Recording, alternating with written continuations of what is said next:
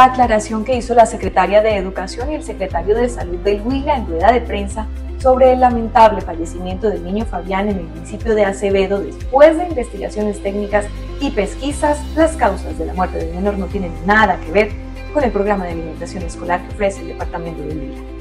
Noticias positivas del departamento a continuación. IDEAR visita al Infihuila. Se unen en un encuentro en busca de crecimiento y aprendizaje mutuo, compartiendo experiencias y casos de éxito, fortaleciendo conocimientos en el ámbito empresarial.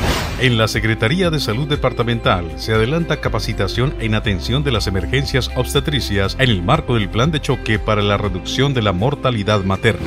A instancia de la Secretaría de Agricultura y Minería, se adelantó una mesa de trabajo con los beneficiarios de un proyecto por más de 1.700 millones de pesos impulsado por la gobernación del Huila para hacer más competitivas más de 10 asociaciones de caficultores y frijoleros. Impulsa Colombia y la Secretaría de Desarrollo Económico y Turismo de la gobernación del Huila desarrollaron el taller Mentalidad Financiera, un espacio interactivo en el que se trabaja en una ruta para mejorar y agregar valor a los productos. La directora de Inder Huila realizó una visita de obra al Centro de Rendimiento Deportivo, proyecto construido en el gobierno Huila Crece que se consolida en la infraestructura deportiva más importante de los últimos 42 años en el Huila. La obra se encuentra en una ejecución del 85%. Gobernación del Huila.